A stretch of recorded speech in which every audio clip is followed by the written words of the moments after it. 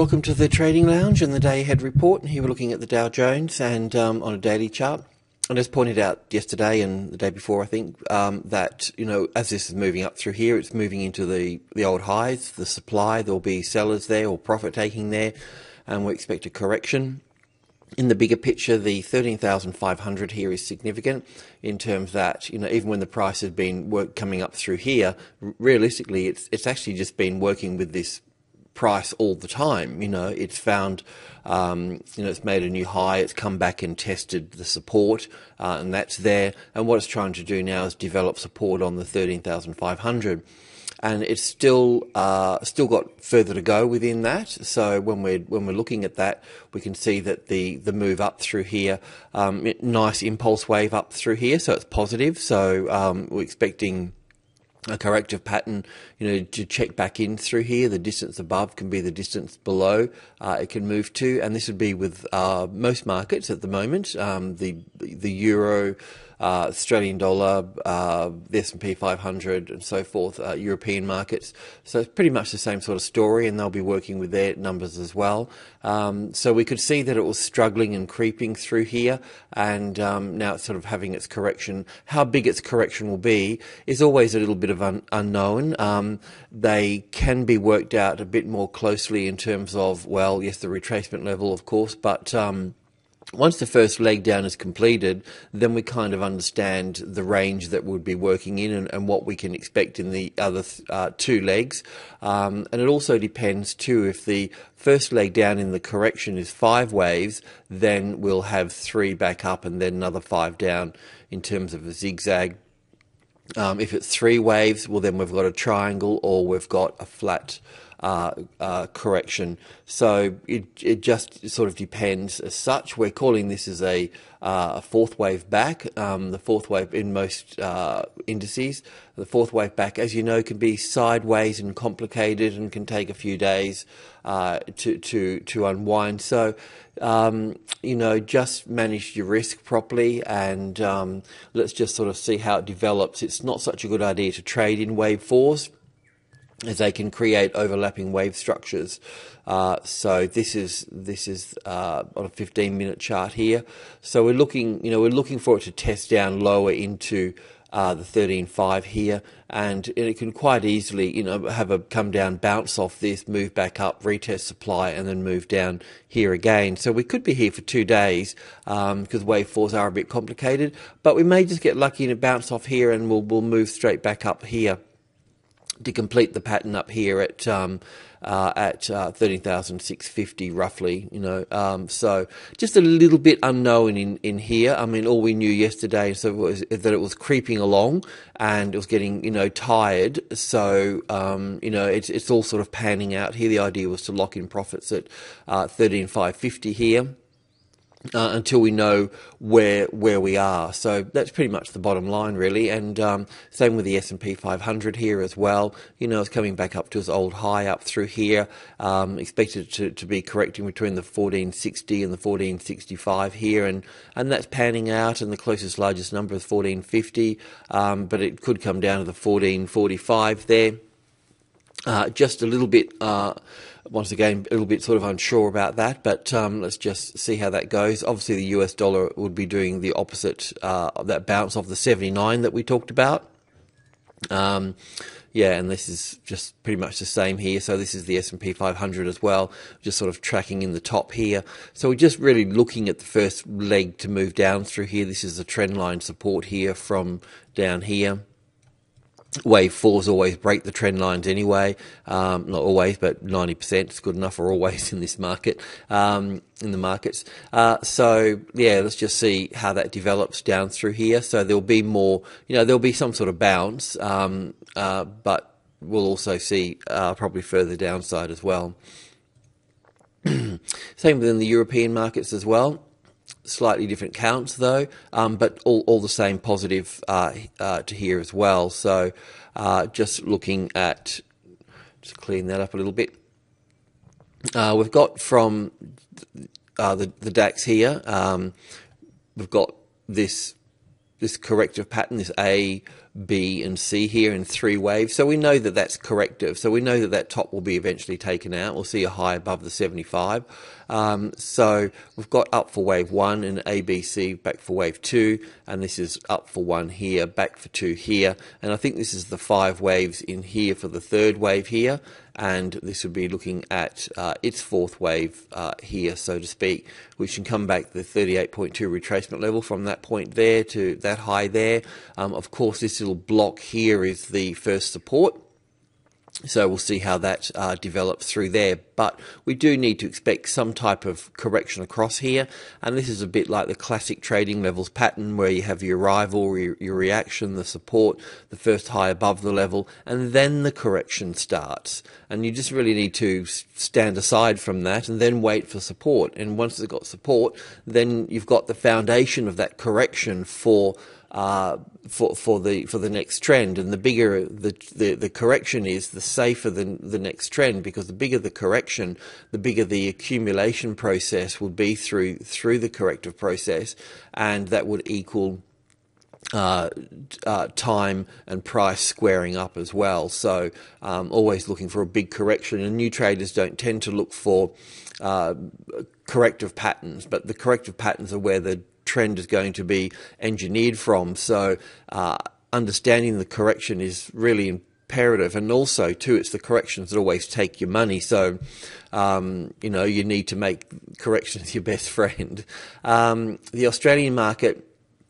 Uh, has really been the strongest uh, market out of uh, all of them, uh, but once again, um, you know, it has its corrections as well, and that's what it's doing. So um, we're looking at this being a wave one and ABC for wave two, and we're looking for the upside here. And we this is probably the one, the two, the three, but we're getting. Well, yesterday we were talking about the 72 subgroup two area here um, as the resistance point, and that's played out nicely. And it appears that we're getting a three wave correction down through here. So we would know that the support for this would be in the uh, 45.20 and 45.30.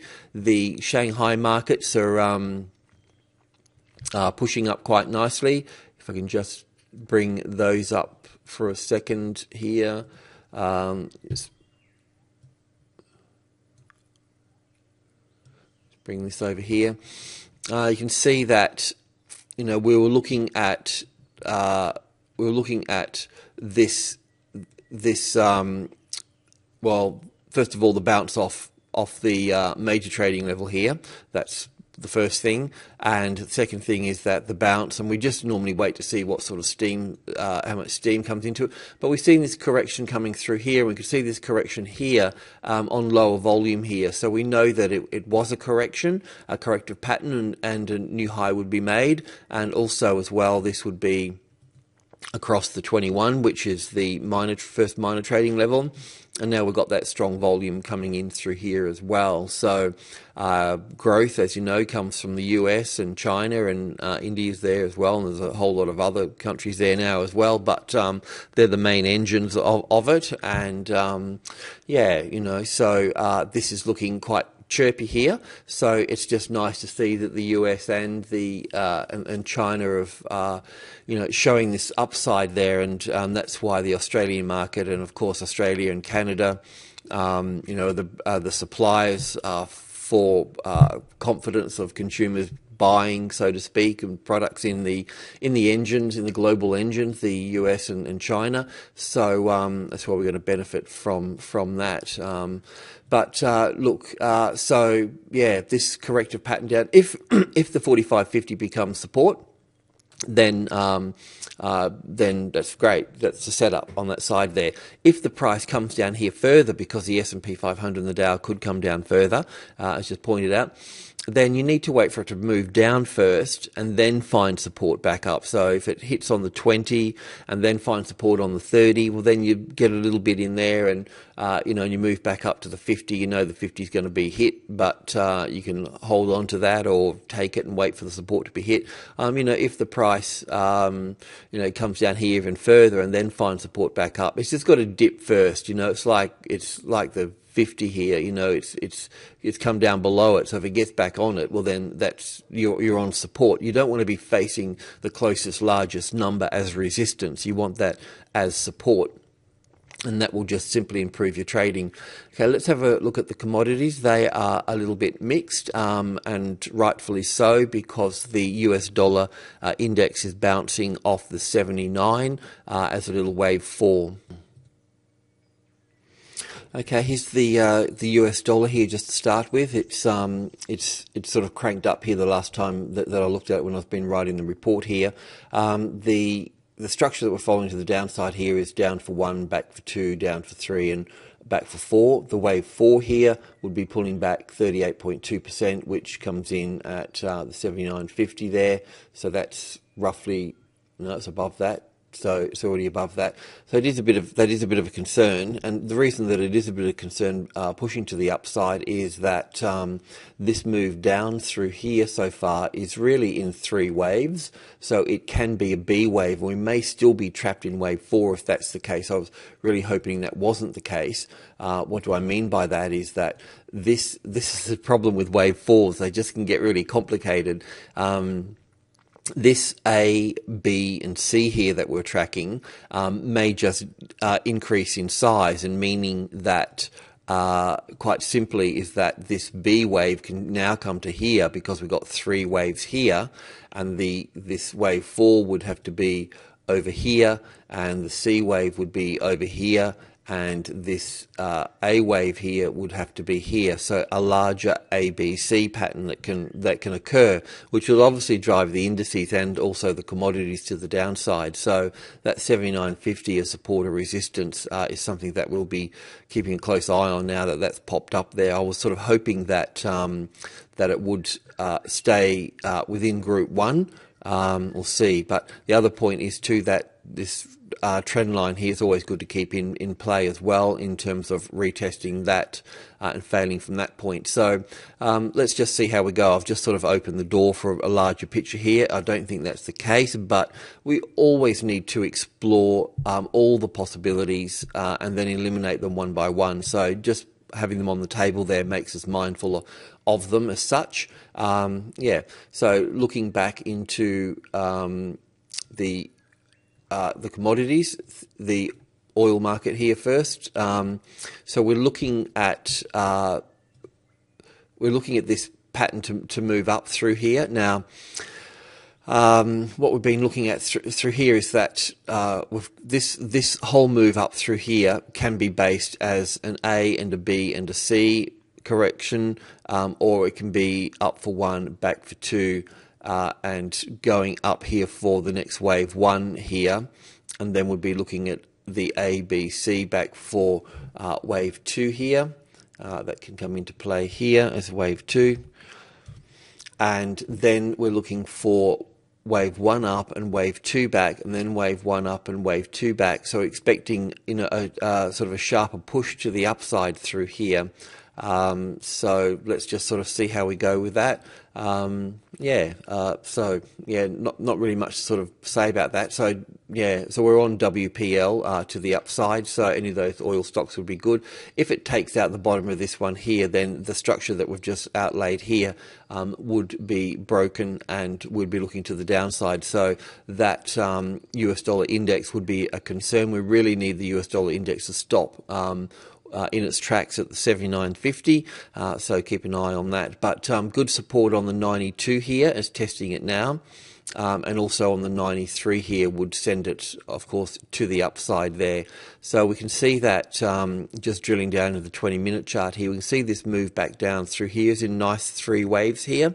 Um, so that's a real positive um, thing. So that means that the, the top of this would be taken out and also that move um, here is starting to look into five waves as well. So look at this as an impulse wave and then an A and a B and a C correction back. And if it drops below the 92 and then finds support on the 92, then then you've got yourself a long trade from that point because this would be like the classic trading levels pattern where you have your arrival, your reaction, the first high above the level, and then the correction unfolding, ABC, and then finding support on there. So that would be the setup from that point there.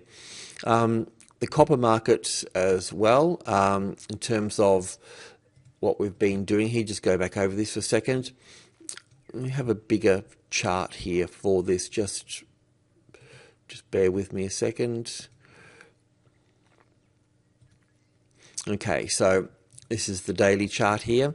And what we were look, considering here is that um, basically we've got this nice strong move up here as the third wave, an A and a B and a C here for wave four, but wave fours can get complicated, but we're just pegging that in there for the time being. This move up through here is not really showing us an impulse wave to the upside, so it's a little bit of a concern, but it is positive in the sense that it's crossed over the uh, the 72 there, and um, yeah, so that's a bit of a positive. US BHP is is dealing with um, 72 again through here, so support on the 72 here would be uh, would be its next step and be critical, and support on the 72 would flip the the, the, the bias to the to the upside there. Um, but just coming back into the this ABC correction and this move up through here, the price is retesting the 72 there, the 372. Um, so we'll see how that goes. So we've got the on two hour chart, we've got the A, the B, and the C wave to here, and we've got this move up up through here, which could be a could turn into an impulse wave. It's fine, but it also counts as a corrective wave as well. We don't really want it going below this uh, three six eight here. Then that would make it a bit corrective at that stage there. So let's, let's just keep an eye on that as well. So it's really got to do with the US dollar and. Um, uh, and, uh, and, and what happens uh, here as well. We know that the the indices are. a little bit, um, you know, are, are correcting, so uh, that's just going to sort of push boundaries uh, uh, here and, and, and prices to the, the, limits in terms of support and resistance, and the gold market as well. So what we're looking for here is we're looking for we're looking at this being a move up through here at uh, wave one or the A wave, and then a move back as an A and a B and a C for wave two or B wave through here. So that low is really well that really needs to, to hold into place here. But what we're looking for here in terms of trading is that we need to be on that support there. We need to be on the 1750 as support. So that's what you can look for. Um, otherwise, this could move further down. Obviously, if it takes, if it breaks the 1730 here, low here, then we'd see it down at the 1720 here. But we were sort of considering and hoping that um, this structure here was an A wave, an A and a B and a C for the B wave, and then the C wave down in five waves here to complete here, and then we'd see this market work to the upside. And it's still still possible, but we need to see that US dollar turn at that 79.50 and, and move to the downside. And it'll also depend to how much gold follows uh, indices as well, and how much indices will pull back as well. And this would be the same for silver as well uh, silver here with its uh, move here. This move here can be corrective or impulsive. Um, a low down through here would make this a wave 3 and a wave 4, and then we'll see further downside uh, here and have to count this as a wave 5 to the downside. So any long trades here would have to have, as always, the uh, group 1 as support, uh, and that's not there. And even so, even if we use the 33 here, then uh, the move up here that we are talking about yesterday I think it was yesterday, that um, you know it's as a, the retest coming back down here would need still need support here, so then you would use the 10 and the 20 to, to, to build the trade in from that point there. So it's not like we're caught. It doesn't matter about being wrong or right. It's all about the setup and the risk involved in it. So. so this is this this is um, it, it, does appear to be sort of corrective and new lows can be made uh, here.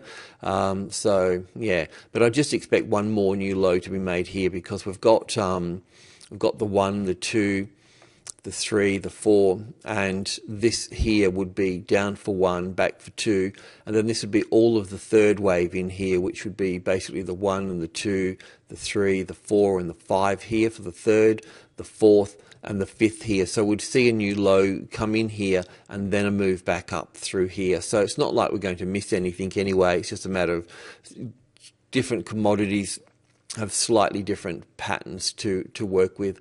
Alrighty, well let's have a look at um, at the at the FX. Okay, the bounce for the US dollar off the 79 here would count something like this in terms of an A wave, a B wave, and a C wave up here for wave 4. And the C wave will have five waves in it, so it would be wave 1, wave 2. The wave 3 here is still unfolding, so that would bring us reasonably close into the 79.50 here, probably somewhere in about here.